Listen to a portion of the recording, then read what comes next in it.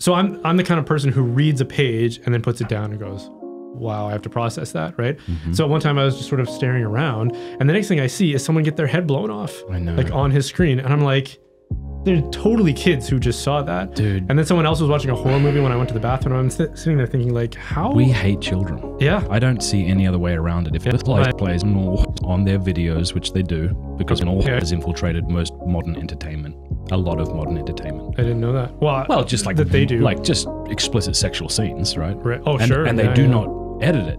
Yeah.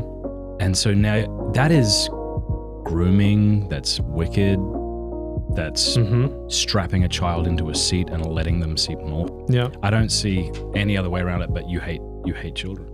Yeah. I, I'm saying it aggressively, but I, I don't think I'm saying it aggressively. Or enough. out of neglect, we end up treating them contemptuously. Like I think.